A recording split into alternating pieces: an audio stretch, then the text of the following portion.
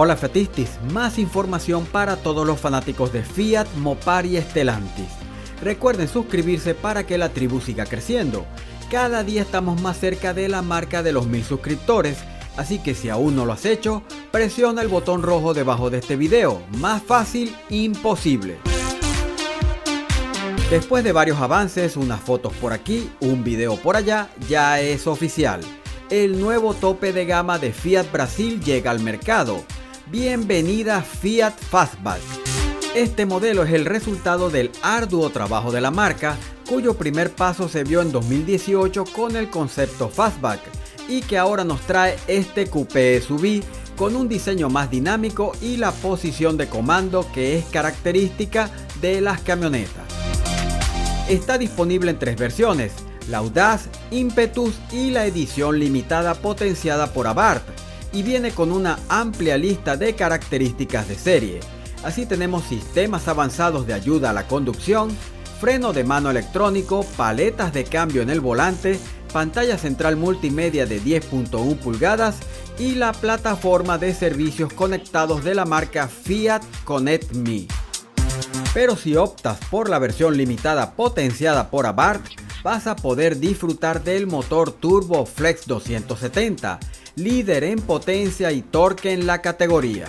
En cuanto a diseño, sigue la tendencia recientemente vista con el Peugeot 408. Parece más un 5 puertas con altura extra. El frontal es prácticamente el mismo de la Pulsa Bart y donde marca las diferencias es de las puertas traseras hacia la parte final, donde la inclinada con puerta trasera da ese toque de deportividad al modelo. Pero no hay que confundirse, es un vehículo cómodo y práctico. Así tenemos que su maletero tiene capacidad de 600 litros y si se reclinan los asientos traseros y se retira la cubierta del área de carga, esta puede llegar hasta los 1087 litros. A su vez impresiona con la capacidad de sus distintos espacios portaobjetos, unos 28 litros totales adicionales, incluyendo portavasos removibles y compartimiento secreto.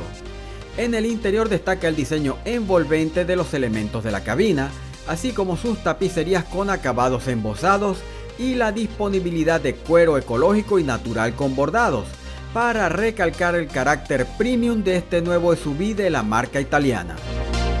Si bien se enfoca en la deportividad, su despeje del suelo de 192 milímetros y sus ángulos de entrada y salida de 20.4 y 21.2 grados respectivamente permiten a la Fastback superar los obstáculos de la ciudad y enfrentarse decentemente a dificultades en caminos de tierra.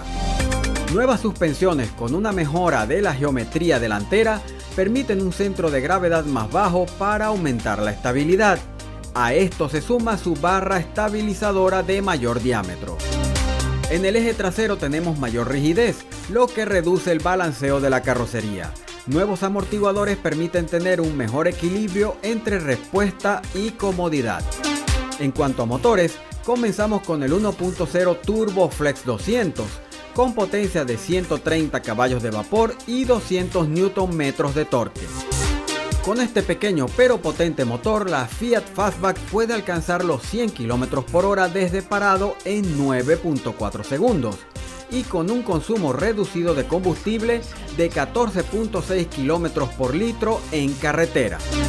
Pero si quieres más desempeño, la opción es el Turbo 270 Flex, que entrega 185 caballos de vapor con etanol o 180 caballos de vapor con gasolina y un torque de 270 Nm, que es exclusivo de la versión potenciada por Abarth. Ya aquí tenemos cifras como en 0 a 100 km por hora en 8.1 segundos, lo que lo hace de los más rápidos en el segmento hasta los 1.5 litros y disfruta de la mejor relación peso-potencia de la categoría con 7 kilogramos por caballo de vapor. Fiat Fastback tiene tres modos de manejo. Normal para menor consumo y mayor comodidad, manual para más control y deportivo para una respuesta más rápida. Con este último toda la sensibilidad del auto cambia para ofrecer una experiencia de manejo más conectada con dirección más firme, mayor respuesta del pedal del acelerador y un mapa más agresivo de la caja de cambios, combinado con la activación de la vectorización dinámica de torque. Las versiones Turbo 200 vienen con la caja automática CVT, mientras que el Turbo 270 está conectado a una caja manual de 6 velocidades. Los precios comienzan en los 129.990 reales, excepto Sao Paulo, para la Fastback Audaz Turbo Flex AT.